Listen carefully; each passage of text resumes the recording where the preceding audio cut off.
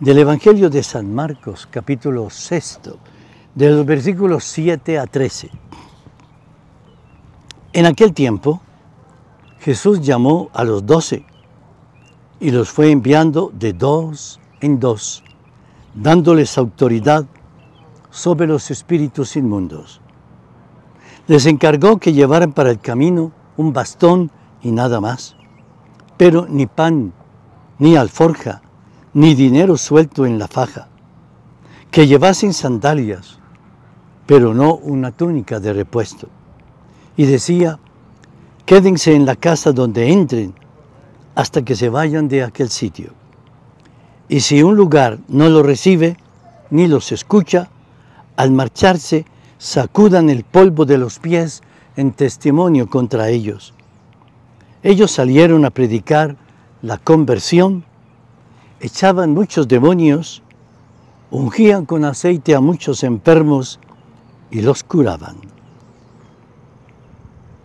Palabra del Señor, tienda gloria a ti, Señor Jesús.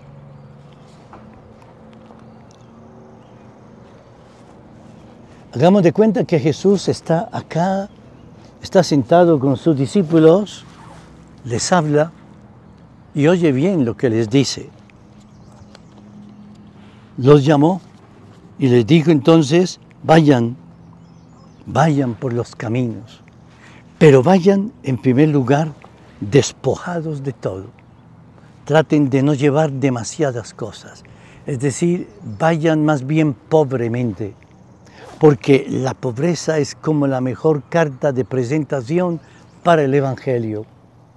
Y en segundo lugar, además de ir despojados, sin orgullos, sin imperios, sin títulos, vayan también, pero a hacer el bien, expulsando el mal, expulsando donde haya algo que sea del mal del demonio, del pecado, y tratando así entonces de ir sembrando por doquier el bien, cuidando a los enfermos, cuidando a los pobres.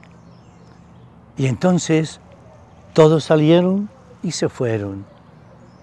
Pues bien, los puestos están vacíos.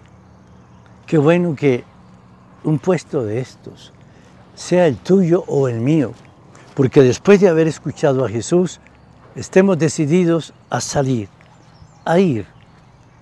En primer lugar, despojándonos de orgullos, despojándonos de la pereza, despojándonos de la medianía e ir por todas partes.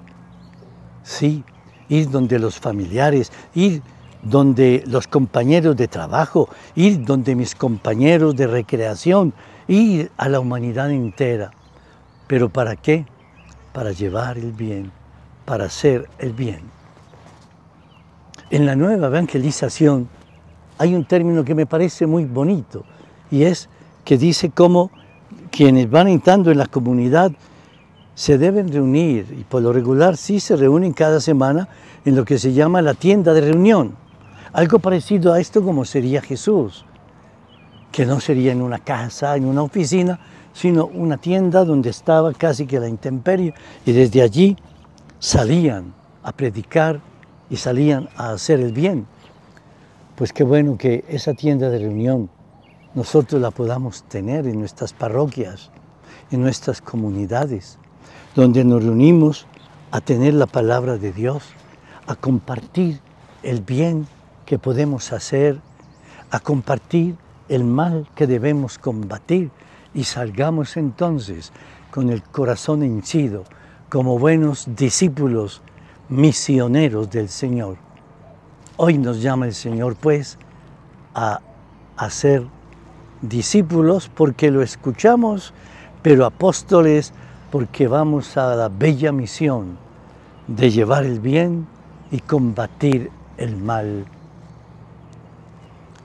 Nos bendiga el Señor hoy y siempre, en el nombre del Padre, del Hijo y del Espíritu Santo. Amén.